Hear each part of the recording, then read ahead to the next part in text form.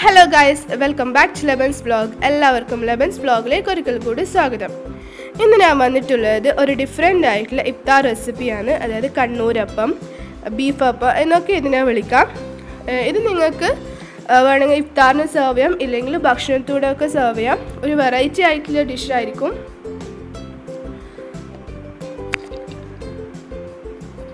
അപ്പോൾ ഇതിന്റെ റെസിപ്പിയിലേക്ക് പോവാം നമുക്ക്.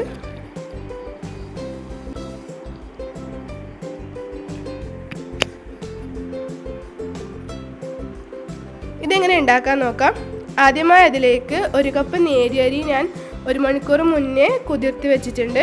അതൊരു ഗ്രൈൻഡറിലേക്ക് ആഡ് ചെയ്യാം. പിന്നെ അരക്കപ്പ് ചോറ്. നിങ്ങൾക്ക് ഏത് ചോറ് വേണമെങ്കിൽ നിങ്ങൾക്ക് യൂസ് ചെയ്യാം. പിന്നെ അതിലേക്ക് ഒരു മുട്ട ആഡ് ചെയ്യാം. ആവശ്യമായ ആവശ്യമായ വെള്ളവും ഉപ്പും ചേർത്ത് നന്നായി ഗ്രൈൻഡ് ചെയ്തെടുക്കാം. ഇനി അതിലേക്ക് ബീഫ് ആഡ് ചെയ്യുന്നുണ്ട്. ബീഫിന് ഇതേപോലെ ചെറിയ ചെറിയ കഷ്ണങ്ങളായി കട്ട് ചെയ്ത് അതിലേക്ക് ഉപ്പും മഞ്ഞൾപ്പൊടിയും മല്ലിപ്പൊടിയും മുളകും ചേർത്ത് നന്നായി വേവിച്ചെടുത്തതാണ്. വേവിക്കുമ്പോൾ വെള്ളം ഒഴിച്ചിട്ടില്ല. പിന്നെ ഇതേപോലെ ബോളിൽ ഒരു സ്പൂൺ മുളക് പൊടി അര സ്പൂൺ മല്ലിപ്പൊടി പിന്നെ ഒരു പിഞ്ച് മഞ്ഞൾപ്പൊടിയും ചേർത്ത് നന്നായി മിക്സ് ചെയ്യാം.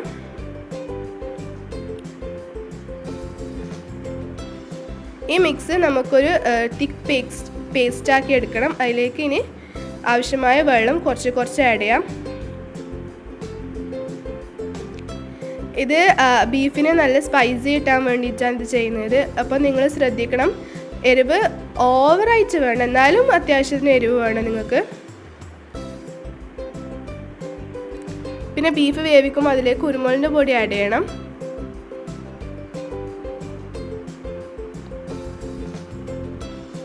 ഇത് നല്ലൊരു തിക്ക് പേസ്റ്റാക്കി എടുക്കുക. ഏകദേശം ഈ ഒരു കൺസിസ്റ്റൻസി വേണം. ഇനി ഒരു പാന് ചൂടാക്കി അതിലേക്ക് നെയ്യ് ഒഴിക്കാം. പാൻ നല്ല ചൂട് വേണ്ട. ചെറുങ്ങനെ ഒന്ന് ചൂടായി തന്നെ മതി. അതിലേക്ക് എണ്ണ ഒഴിച്ച് പെട്ടെന്ന് തന്നെ ഈ മിക്സ് ഒഴിച്ചു കൊടുക്കാം. പിന്നെ ഇത് ചെയ്തെടുക്കേണ്ട ലോ ഫ്ലെയിമിലായിരിക്കണം കാരണം ഈ മിക്സ് പെട്ടെന്ന് കത്തിപ്പോകാൻ ചാൻസ് ഉണ്ട്. പെട്ടെന്ന് തന്നെ വെന്ത് കിട്ടും. കുക്ക് ചെയ്യും അത്? പെട്ടെന്ന് തന്നെ വെന്ത് കിട്ടും. അപ്പോൾ അത് ഒഴിവാക്കാൻ വേണ്ടി ചെറിയ തീയിൽ പെട്ടെന്ന് തന്നെ അല്ല ചെയ്തെടുക്കണം. അതുകൊണ്ട് ഫസ്റ്റിൽ പറയുന്നത് പാൻ നന്നായി ചൂടാൻ പാടില്ല എന്ന് ഇനി നന്നായി ഒന്ന് ഇളക്കി കൊടുക്കാം. ഇതിന്റെ പാകമായി എന്ന് പറയുന്നത് ഇതിലൊരു സ്മെല്ല് വരും. നല്ലൊരു സ്മെല്ല് വരുന്നുണ്ട്. അപ്പോൾ ആ സ്മെല്ലിൽ നമുക്ക് മനസ്സിലാക്കാം ഇതായിട്ടുണ്ട് ഓവർ കുക്ക് ചെയ്യാൻ നിൽക്കേണ്ട. അപ്പോൾ അത് കരിഞ്ഞ സ്മെല്ലായിരിക്കും പിന്നെ വരുന്നത്. ഏകദേശം എണ്ണയൊക്കെ ഒന്ന് സ്പ്രെഡായി ഇതൊന്ന് കുക്കായി എന്ന് വന്നാൽ ഇതിലേക്ക് പെട്ടെന്ന് തന്നെ ബീഫ് ആഡ് ചെയ്യാം. ഇതിന്റെ റോ ടേസ്റ്റ് ആവും ഒന്നും ഉണ്ടാവില്ല ഒരു പച്ചമണ ഒന്നും ഉണ്ടാവില്ല നല്ലൊരു ടേസ്റ്റ് തന്നെ ഉണ്ടാവും ഇതിന്. ഇതിലേക്ക് വേവിച്ച് വെച്ച ബീഫ് ആഡ് ചെയ്യാം.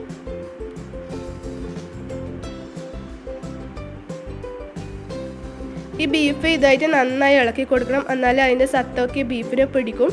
അപ്പോൾ ഒരു നിങ്ങൾ ഒരു അഞ്ച് മിനിറ്റ് ഒന്ന് ഇതേപോലെ ഒന്ന് ഇളക്കി കൊടുക്കണം. കാരണം ആ ബീഫിന്റെ ആ ബീഫും പിന്നെ ആ മിക്സെല്ലാം ഒന്ന് ജോയിൻ ചെയ്ത് കിട്ടാൻ വേണ്ടിയിട്ടാണ് അങ്ങനെ ചെയ്യുന്നത്.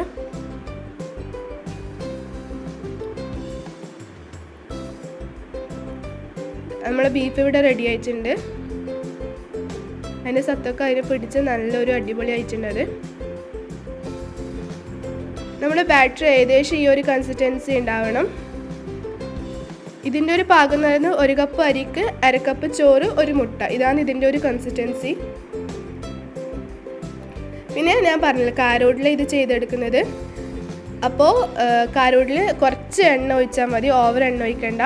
പിന്നെ അതേപോലെ കുറച്ച് ബാറ്റർ ഒഴിക്കുക. ഓവറായിട്ട് ബാറ്റർ ഒഴിക്കണ്ട. ഇത് ചില ആൾക്കാർ ഇഡ്ഡലി പാത്രത്തിൽ ചെയ്തെടുക്കുന്നുണ്ട് പക്ഷെ ഞാനിവിടെ എളുപ്പത്തിന് വേണ്ടിയിട്ട് കാരോളിൽ ചെയ്തെടുക്കുന്നത്. എനിക്കൊന്ന് ഈ ഒരു രീതിയിൽ ഇങ്ങനെ ചെയ്തെടുക്കുന്നതായിരിക്കും ഏറ്റവും കൂടുതൽ ബെറ്റർ ആയിട്ട് വരുന്നത്.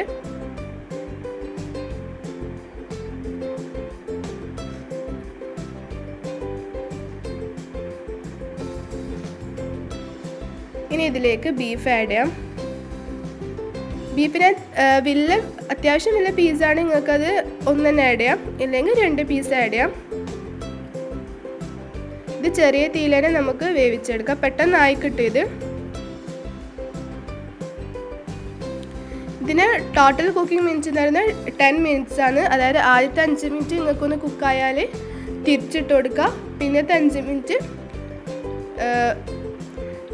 മറിച്ചിട്ട് കൊടുത്ത് വേവിച്ചെടുത്താൽ നമ്മൾ അപ്പം ഇവിടെ റെഡിയായി ഇതിപ്പോൾ തിരിച്ചിടാനുള്ള സമയമായി ഇനി തിരിച്ചിട്ട് കൊടുത്ത് നമുക്ക് അഞ്ച് മിനിറ്റ് കഴിഞ്ഞാൽ സെർവ് ചെയ്യാം.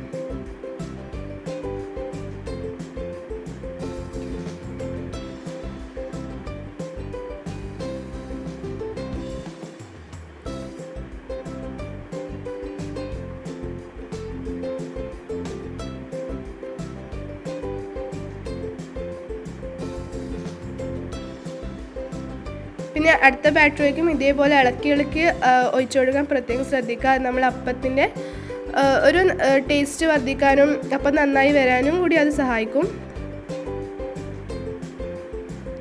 അങ്ങനെ ബാക്കിയുള്ളതും കൂടി നമുക്ക് ചെയ്തെടുക്കാം.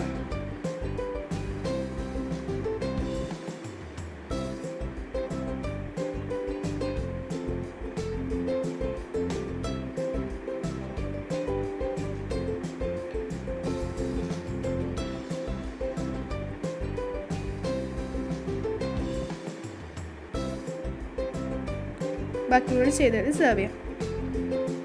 കണ്ടില്ലേ നമ്മൾ ബീഫ് അപ്പം ഇവിടെ റെഡി ആയിട്ടുണ്ട്. ഭയങ്കര ടേസ്റ്റാണ് ഇതിന്റെ ഒരു കോമ്പിനേഷൻ എന്ന് പറയുന്നത് അപ്പത്തിന്റെ സോഫ്റ്റ്നെസ്സും പിന്നെ ബീഫിന്റെ ഒരു ഹാർഡ്നെസ്സും കൂടി വരുന്ന രണ്ടൊരു ഇതാണ്. അപ്പോൾ ഇത് ബൈറ്റ് ചെയ്യുന്ന സമയത്ത് അപ്പത്തിന്റെ ആ ഒരു ടേസ്റ്റും പിന്നെ ബീഫിന്റെ ആ സ്പൈസ് അത് എരിവും ഹൈലൈറ്റ് ചെയ്ത് നിൽക്കും. അപ്പോൾ ആ ഒരു ഡിഫറെന്റ് ആയിട്ടുള്ള ഒരു ടേസ്റ്റ് ആയിരിക്കും. നല്ലൊരു രുചിയാണ് അത് കഴിക്കാൻ വേണ്ടിയിട്ട്. എല്ലാവരും ട്രൈ ചെയ്ത് നോക്കണം. നിങ്ങൾക്ക് എന്റെ വീഡിയോ ഇഷ്ടപ്പെട്ടെങ്കിൽ ലൈക്ക് ചെയ്യാൻ മറക്കല്ല. പിന്നെ പുതിയ പുതിയ വീഡിയോസിന് വേണ്ടി നിങ്ങൾ എന്റെ ചാനൽ സബ്സ്ക്രൈബ് ചെയ്യുക. പിന്നെ ഈ റെസിപ്പി മറ്റുള്ളവർക്ക് ഷെയർ ചെയ്യാനും മറക്കല്ല. അപ്പോൾ അടുത്ത റെസിപ്പിയെ കാണുന്നത് വരെ ബ ബായ്